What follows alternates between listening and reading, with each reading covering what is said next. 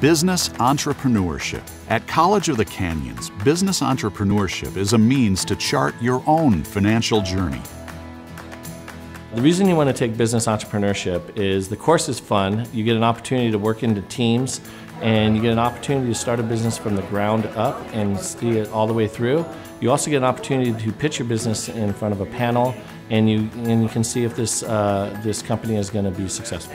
I have a BA in pure math and I have a business degree, but this is probably the most, I would say the most valuable class you could ever take because they don't teach this in your normal schooling.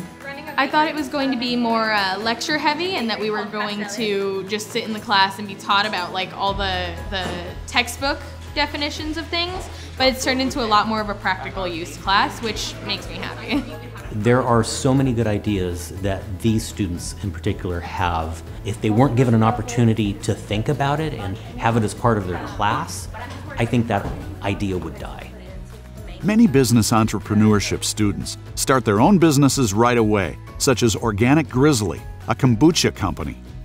It really just popped into my head, and I was like, hey, what if we make a business plan in the class on kombucha?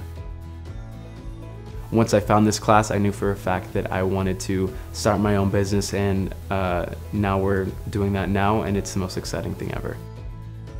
The reason why, even if you're not doing business, I would take this class. There are so many essential skills in this class that you can take elsewhere, even if you're going into, I don't know, art or other things. You need to sell that art. You basically learn how to. You learn how to do all of it want to have success in business and your business to take off and you to have success in life, you need a class with this kind of structure in business to know if it will work. COC is a great option, I believe, financially and relationally, especially if you want to start a business. There's so many resources here for you. There's so many professors and people who are in the business that can help you, and they give you practical tools for you to start today if you want to.